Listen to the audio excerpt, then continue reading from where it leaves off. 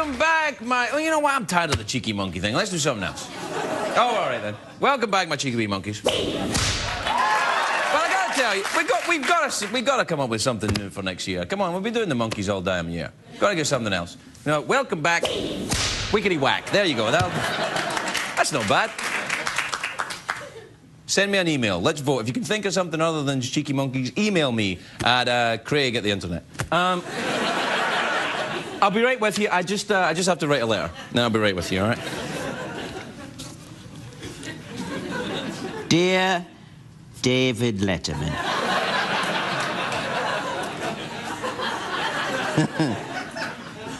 I know that Christmas is not here yet, but I just wanted to send you a note and say thank you for my lovely present. How did you know that I wanted a hot tub? Slash jacuzzi. It's very warm and is lovely when I'm sitting in it with my hose. I'm writing a letter. The hose that I use to fill up the hot tub, of course. David, I know you enjoy a hot tub, so why not come out to California and sit in the lovely, bubbly, warm water with me? Yours, TV's Craig Ferguson. Right, we'll get that in the mail and get it right out, right? Time for an email tonight? We do an email. Email her. Yeah. Uh, this is uh, from Anne in Memphis. Now, do you think that's Memphis, Tennessee, or Memphis, ancient Egypt? Don't know. She says, Craig, you know so much about everything. Why do we not see baby pigeons in large cities? That's a good question, isn't it? I think they probably live in the country until they're old enough to, you know, come around and try and live on gum. I don't. You know, they live out in farms. They have little baby pigeon farms and say, right, now you're ratty and unpleasant. Off you go to the big city. Ah, I don't know. Disney should make a movie about that.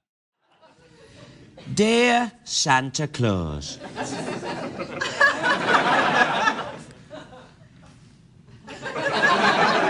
Dear Santa, this year you probably want to know whether or not I've been naughty or nice. Well, here's the news. I've been naughty. but it was worth it. So don't bring me any presents, you big, fat, judgmental bastard. Love, Craig Ferguson. There you are. Get that in post, will you? All right. Hang on, hang on. I'll be right with you. I just have to write a letter and then I'll be right with you, all right? all right. Dear Dan Rather. you have criticised CBS for having Katie Couric read the news. you said she made the news sort of tarty. Excuse me, I'm trying to write a letter.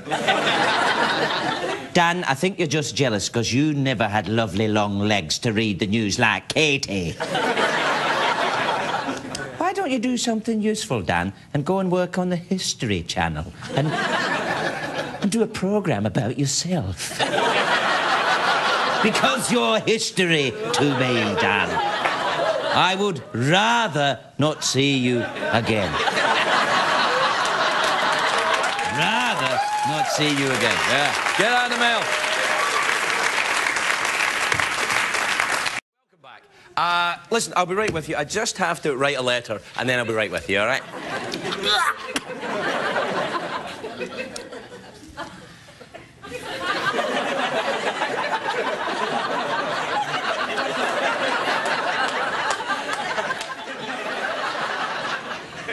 Dear David Letterman. Dear Dave, I don't know if you remember me or if you know who I am.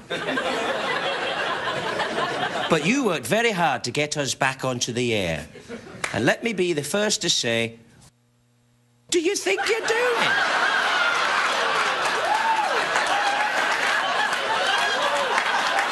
Hey, hey, hey, excuse me, I'm trying to write a letter to my boss. What the heck do you think you were doing? I was having a lovely time, Dave. I learned to ski, I went to some lovely places.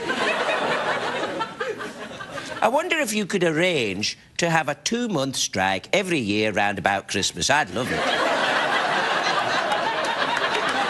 Wait, wait.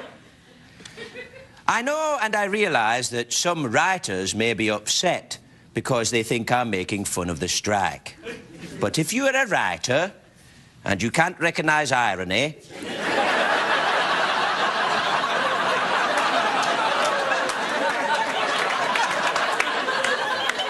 then perhaps you should be in a different profession. Perhaps a profession which requires you to have no sense of humour and no soul.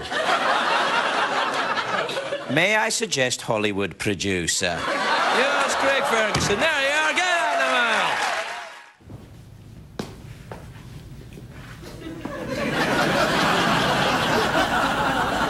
mouth. Sorry, everyone. I'm just finishing my chicken.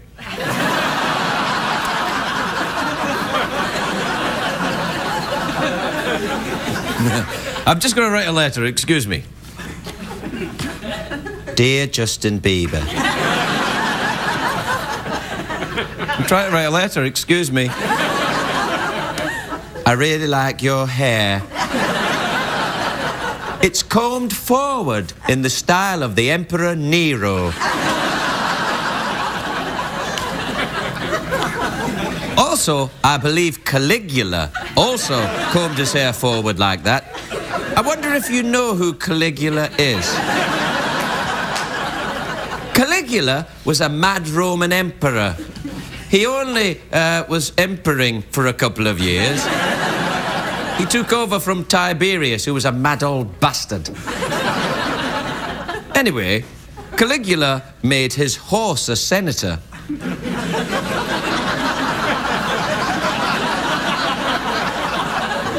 Doesn't that sound stupid?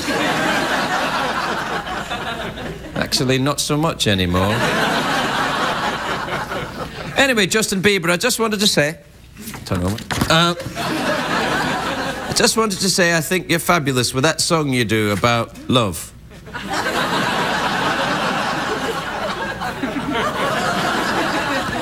you, know, you know that song where you sing, uh, you know, you, you like things? That's my favourite. Anyway, I just wanted to warn you anyway, because a friend of mine is a chap by the name of Danny Bonaduce. He's a lovely man, Danny. He's got a lot of tattoos. He's a bit crazy and he loves steroids. But Danny was a big star when he was 16 years old.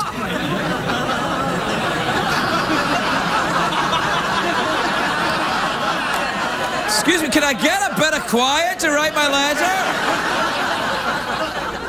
Anyway, some things happened in between. You know, because everyone liked him because he used to comb his hair forward as well. I tell you one thing don't ever marry a prostitute.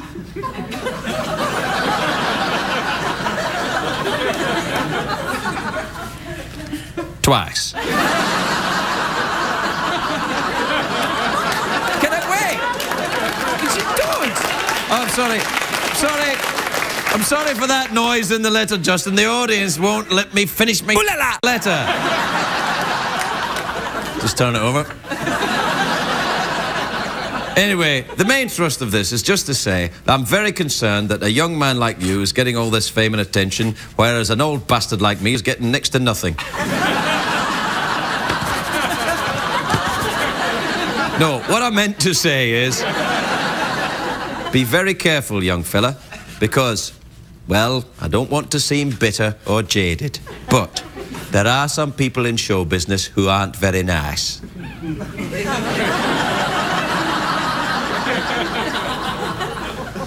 and most of them are called agents and lawyers. Yours Use TV speakers. Get that in the mail, will you? Get it right out of the mail right away. All right, we'll be right back with this full of chicken.